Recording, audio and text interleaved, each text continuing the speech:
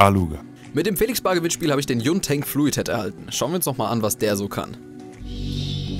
Der Yuntank Stativkopf ist mit Flüssigkeit gedämpft und lässt sich träge, aber dafür smooth drehend und kippend bewegen, was für ruhige Schwenks sehr praktisch ist. Für den Preis drücken wir mal bei der Qualität ein Auge zu und schauen mal eher in Richtung Funktionalität, denn wer hier Aluminium oder hochwertig verarbeiteten Premium-Kunststoff erwartet, wird mit sprödem Plastik und ungenauer Verarbeitung schnell enttäuscht. Was die Funktionalität betrifft, sind die Schwenks sehr angenehm und vor allem das Schnellwechselsystem super einfach.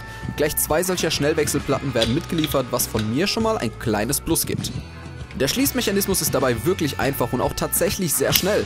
Ebenfalls praktisch wäre, wenn der Operatorgriff aus Metall eine Twist-Lock-Unlock-Funktion hätte. Stattdessen ist der Griff einfach nur starr und um die Bedienung zu erleichtern da. Nichtsdestotrotz ist der Stativkopf gerade für Anfänger interessant. Sollte man allerdings etwas mehr Geld zur Verfügung haben, dann würde ich eher auf einen qualitativ hochwertigeren zurückgreifen. Bei der Arbeit nutze ich lieber den Stativkopf von Manfrotto, privat jedoch erfüllt bei mir auch der Yunteng seinen Zweck.